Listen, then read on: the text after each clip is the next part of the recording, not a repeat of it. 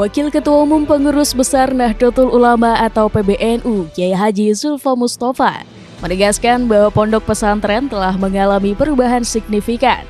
Dahulu identik dengan kekumuhan, namun sekarang sudah banyak pondok pesantren yang keren, modern, bersih dan hijau, serta mengalami banyak kemajuan. Pondok pesantren saat ini juga tidak hanya mencetak ahli agama, tetapi ahli di berbagai bidang. Kiai Zulfa menyampaikan hal tersebut saat membuka secara resmi workshop revolusi mental bertajuk penguatan ekonomi Nahdiyin berbasis pesantren di Hotel Aston Samarinda, Kalimantan Timur pada Kamis 29 September 2022. Tampak hadir Ketua PBNU Kiai Haji Khairul Soleh Rashid, perwakilan Deputi Bidang Koordinasi Revolusi Mental, Pemajuan Kebudayaan dan Prestasi Olahraga Kemenko PMK RI, Dwi Haryanto M, Direktur Eksekutif Lazisnu PBNU Haji Kohari Khalil, Ketua PWNU Kalimantan Timur Kiai Haji Fauzi Ahmad Bahtar, dan Sekretaris PWNU Kalimantan Timur Haji Abu Bakar Madani. Dwi Haryanto M, analis kebijakan ahli media selaku koordinator pelestarian kebudayaan Kemenko PMK RI, hadir mewakili Deputi 5 Kemenko PMK RI Didik Suhardi PhD. Hadir mewakili Gubernur Provinsi Kalimantan Timur, Kepala Bapeda Provinsi Kalimantan Timur Profesor M. Aswin dan Rektor Universitas Nahdlatul Ulama atau UNU Provinsi Kalimantan Timur, yakni Profesor Farid Wajdi. Dalam kesempatan itu, Kiai Zulfa mengakui terdapat kesenjangan perkembangan pondok pesantren di bidang ekonomi antara Pulau Jawa dan luar Pulau Jawa. Umumnya pondok pesantren di Pulau Jawa sudah berjalan dengan baik, sambung Kiai Zulfa bahkan patut menjadi role model seperti halnya pondok pesantren di Sidogiri, Provinsi Jawa Timur, yang saat ini memiliki unit usaha dengan aset bernilai miliaran rupiah.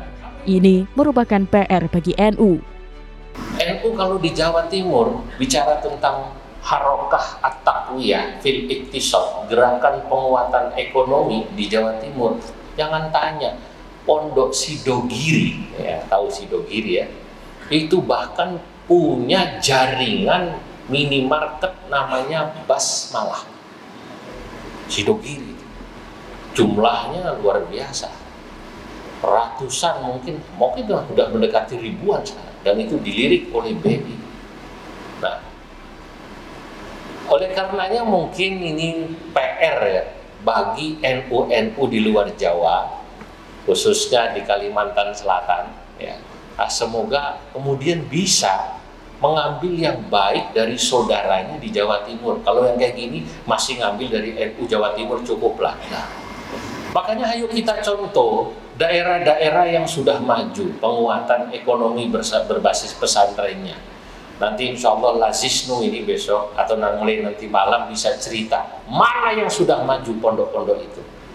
Kalau pondok dulu katanya dianggap identik dengan kekumuhan. Terus sekarang pondok-pondok sudah maju Bahkan di bidang ekonomi, ilmu pengetahuan pesantren sudah maju-maju, Pak. Kiai Zulfa berharap melalui workshop revolusi mental, penguatan ekonomi Nahdien berbasis pondok pesantren akan melahirkan para usaha baru dari kalangan santri.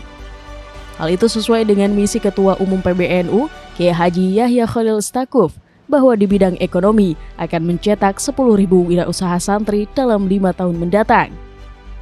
Workshop revolusi mental yang dilakukan di Samarinda saat ini merupakan salah satu rangkaian kerjasama antara Kemenko PMK RI dengan PBNU. Sementara itu, Sekretaris Umum PWNU Provinsi Kalimantan Timur, Abu Bakar Madani, berharap setelah mengikuti workshop, peserta dapat menyusun strategi pengembangan dan penguatan ekonomi di pondok yang ada di Provinsi Kalimantan Timur. Ditambahkan PCNU maupun pondok pesantren yang ada di Provinsi Kalimantan Timur dapat bersinergi dan berkolaborasi dengan lembaga keuangan khususnya BSI yang telah bekerja sama dengan PWNU. Harapan kita dengan selesai dari workshop ini diharapkan kepada teman-teman semua yang menjadi peserta itu bisa merealisasikan dalam bentuk ya mungkin pelatihan, membangun jaringan-jaringan usaha sehingga memperkuat kemandirian ekonomi di kalangan pondok pesantren maupun di lembaga-lembaga keuangan yang ada di lingkungan Nahdlatul Ulama di seluruh Kalimantan Timur. Ada 15 pondok pesantren yang sedang menggarap uh, kaitannya dengan lembaga keuangan untuk meningkatkan kemandirian ekonomi. Dari 15 pondok pesantren ini kemudian uh, menggarap berbagai macam bentuk kegiatan. Ya, ada yang bergerak di bidang UMKM, kemudian ada yang bergerak di bidang kelapa sawit, kemudian bergerak di bidang-bidang konstruksi dan lain-lain sebagainya.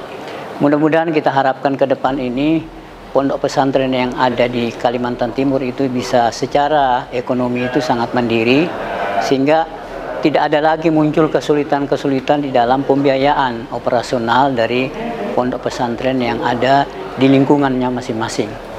Workshop ini diikuti oleh para peserta yang berasal dari PWNU, PCNU, dan Badan Otonom di seluruh Provinsi Kalimantan Timur. Workshop Revolusi Mental yang diselenggarakan di sejumlah daerah di Indonesia merupakan tindak lanjut dari kerjasama Kementerian PMK dan PBNU untuk menyukseskan Gerakan Nasional Revolusi Mental atau GNRM. Selain workshop revolusi mental, juga melakukan gerakan penanaman 10 juta pohon.